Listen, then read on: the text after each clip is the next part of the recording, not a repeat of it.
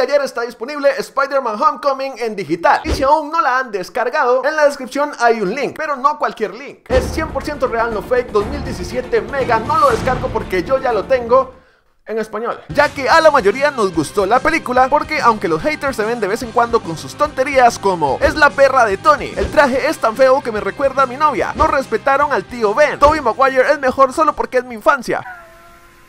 No se lo tomen en serio. Si disfrutaste de Spider-Man Homecoming, algunas escenas extras no caen nada mal. Veamos. Número 1. Peter le dice a sus compañeros que está muy ocupado para ayudarlos con el decatlón, pero que tienen a Flash, aunque todos saben que Flash apesta. Le tiran papeles a Peter y cuando Liz no logra convencerlo, se decepciona y se marcha. Número 2. El sujeto que Spidey confundió con un ladrón de autos continúa atrapado luego de muchas horas. Ya anocheció y la telaraña sigue ahí. Número 3. Luego de que Peter habla con Happy, Ned le pregunta que si era Tony. Peter le dice que no y Ned le pregunta que si entonces era Thor. Y Peter le dice por qué Thor tendría un celular. Buen punto. Número 4. Vemos un helicarrier estrellado contra un edificio. Ned pregunta qué pasó y Michelle responde que Control de Daños ha estado limpiando desde que el Capitán América lo derribó. Número 5. Una escena simple donde el buitre termina de hablar con su esposa diciendo que pronto volverá a casa y luego tira al piso unas cosas. Número 6. Otra escena corta donde Aaron Davis, el tío de Miles Morales, trata de soltarse de la telaraña, pero nada. Tiene que esperar dos horas y cuando se resigna toma su teléfono para llamar a su sobrino Miles y disculparse por no llegar a tiempo.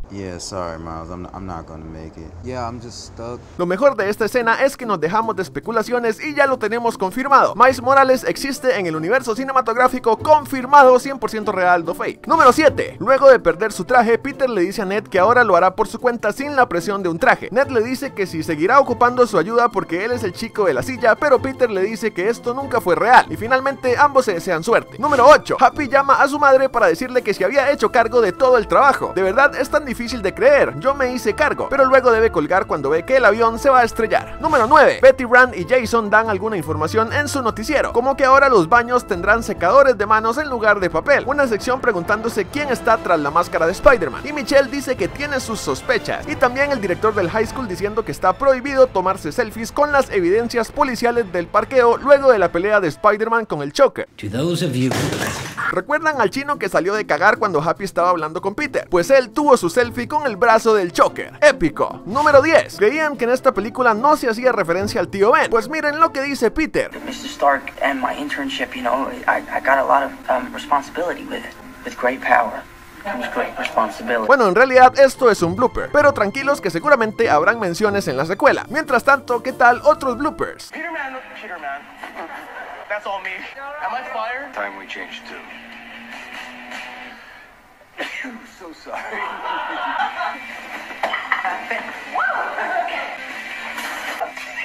¿Cuáles de estas escenas ustedes no hubieran eliminado y les hubiera gustado ver en el cine? ¿Están emocionados de que Miles Morales oficialmente exista en el UCM? Comenten y solo así el trailer de Infinity War podría llegar el viernes. Mañana estaré cumpliendo años así que podrían regalarme algo. Tal vez compartir este video o podrían comprarme una pizza algún día. Hoy estaría bien. Dejen sus comentarios, su dedito arriba y suscríbanse para seguir disfrutando de estos temas que nos causan hype. Saludos para Alex porque ¿qué pasaría si Ant-Man se encoge y se mete en el trasero de Thanos pero luego crece como Giant Man? ¡Wow! Saludos para que Vision sobreviva hasta la fase 6, pero para esto debe recuperar su visión en la fase 4. Saludos para Kirt, Canal Muerto, Elías, Jesús y Rodrigo por llegar temprano. Y me saludas, Thanos y Hulk se besarán en Infinity War. Prefiero ver al hombre hormiga en su trasero y deja un dedito arriba hypeante si tú igual. Esto fue todo por el video de hoy, yo soy César de Pelicomic y nos vemos en la próxima, que estén muy bien y chao.